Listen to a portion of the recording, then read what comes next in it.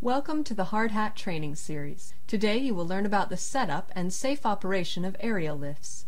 We will strive to provide information that will increase your knowledge and help to make you a better operator. Aerial lift platforms are great tools to conduct work at heights and increase production efficiency. These machines lift personnel along with tools and materials from 10 to 12 feet in the air to as high as 100 feet. During this training, we'll take a look at the different types of lifts and their anatomy.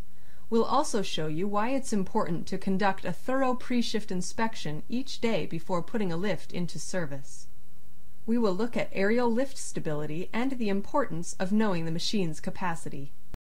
We will emphasize the importance of planning each lift and setting up the machine properly so as to avoid hazards and obstacles around the worksite. We will introduce the six most common hazards associated with aerial lift operation and show you how to recognize, avoid, or minimize them. When you complete this training, you should be familiar with the types of aerial lifts used by your company, have an increased knowledge of how to set up and safely operate them, and be able to recognize and avoid the most common hazards associated with their use.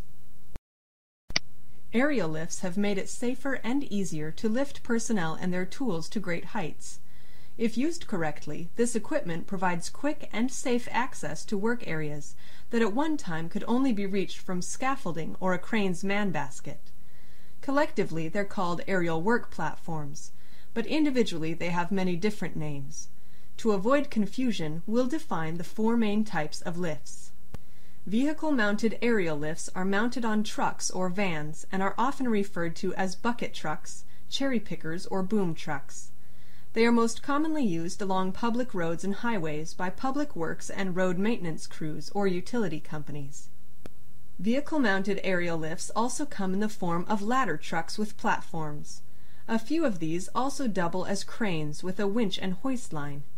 These types of lifts are most often seen in the sign industry. Self-propelled aerial lifts can be either a straight boom or an articulating boom. They are commonly used on construction sites and around industrial plants for maintenance personnel. Self-propelled scaffolding are commonly called scissor lifts and can be used on smooth flat surfaces or rough terrain, depending upon the type. These are mostly used indoors, but there are models that can be used outdoors as well.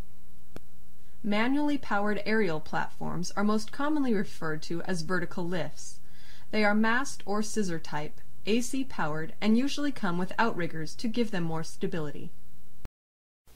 These are some of the main CSA standards. Many provinces have additional standards, as do some industries, such as maritime, mining, and offshore oil platforms.